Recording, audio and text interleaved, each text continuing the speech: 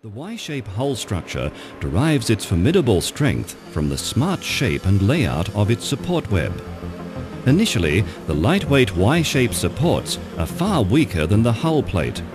Under pressure, the base leg gradually bends, while the angled part of the Y support is forced to fold backwards and outwards. As the hull plate stretches further, it literally pushes the surrounding supports into action causing a rippling effect that spreads the energy away from the point of impact. As there's no substitute for the brute force of nature, the test of choice was once more a full-scale experiment. Conventional wisdom said the hull couldn't survive.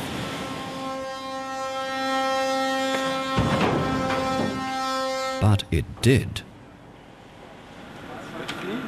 Eyes open and mouths drop as critics and advocates alike view the impossible. A slight dent in the outer hull, less than 30 centimeters deep, is all that is visible. Both the inner hull and the outer hull remain fully intact. To prove this result wasn't accidental, the team decides on the spot to do a second test. Surely this time the hull would be penetrated.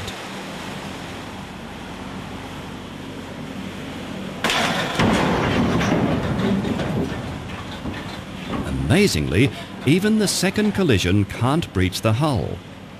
Schelde's Y-shaped hull structure stays fully intact. Compared to the old-fashioned hull, commonly thought to offer adequate protection, the difference is phenomenal.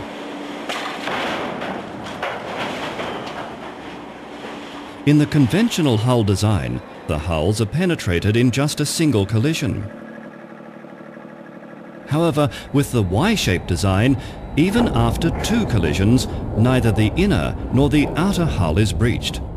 The ship stays afloat, with its cargo securely contained.